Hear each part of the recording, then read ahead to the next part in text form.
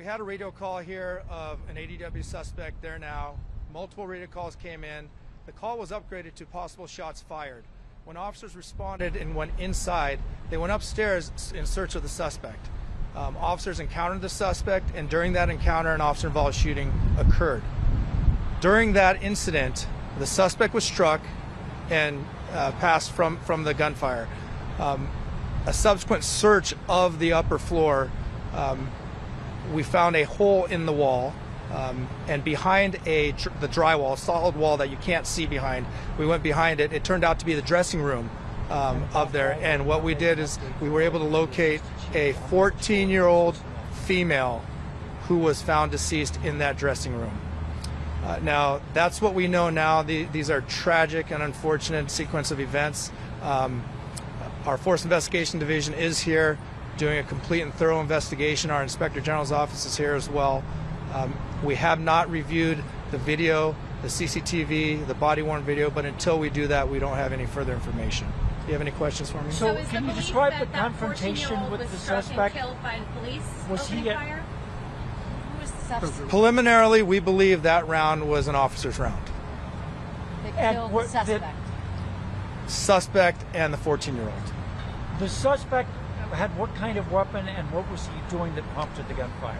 So we don't know exactly yet until we review all the video and interview the officers. We did locate a steel or metal cable lock, a very heavy, heavy lock, um, near the suspect, which we preliminary believe was involved. We don't know how it was involved yet.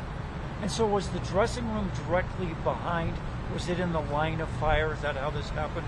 The yes, the dressing room was behind where the suspect was, in front of the officer. In my preliminary um, walk of the area, you can't see into the dressing rooms, and it's just it just looks like a, a straight wall of drywall. Did And the suspect about- have a gun?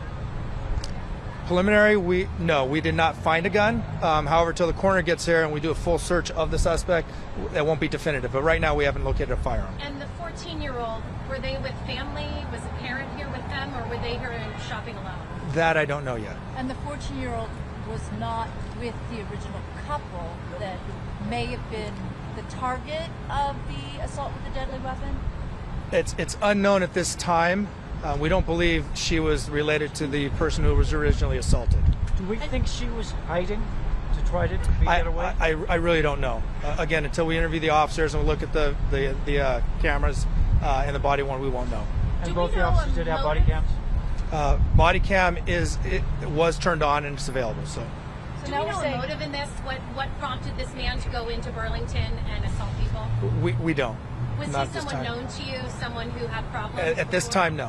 Is there any relationship between the man and the woman? That is still yet to be determined. So you don't know if he knew the woman he assaulted?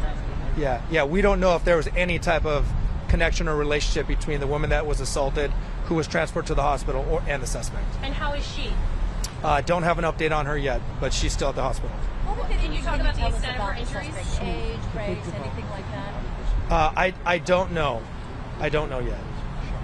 Not that, not. Yeah, I know- I know- Adult, not a teen. The I'm sorry, the suspect, Suspect. is is a male adult. Yes. Okay, the suspect was killed. Yes. Okay, shot by police, Yes. and there was another person who was shot and killed. Are, are, are we clear on how that, what if that person was shot by police or if they were shot by someone else? At this time, we believe that it was the round, a round coming from an officer.